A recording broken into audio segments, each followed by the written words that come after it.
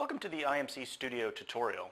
Today I would like to introduce you to this innovative software for solving all of your testing challenges. We will take a look at exactly what this software is and where you can find the basic functions in IMC Studio. So let's get started. After you have started the IMC Studio program, you'll find several links on the home page that will help you in navigating the program. Under Experiment, you can, for example, begin a new experiment or open an existing one. Under Devices, you can choose to go directly to the device list or you can choose to search for a particular device. Under Information, you can bring up the online help service. In the lower window, labeled Recent Experiments, you can view or select any previous experiments. On the left side of the page, you can find a column that displays all of the IMC Studio plugins. That is, all the components that are available for the software.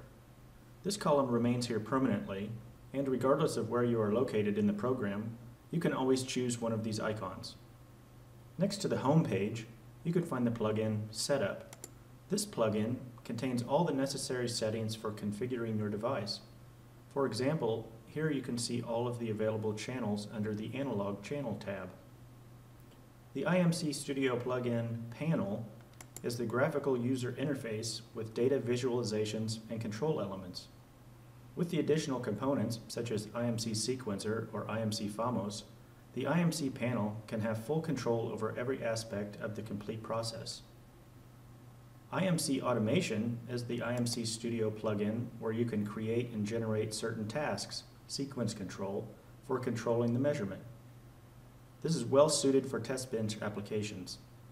To use the IMC Automation plugin, you must be connected to a measurement device and use IMC Online FAMOS Professional.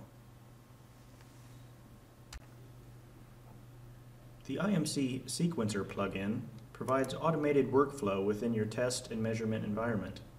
For example, you can choose to create anything from a simple process that will load a single configuration, start the measurement, perform data analysis, and generate a report, up to defining complex multi-page operational instructions.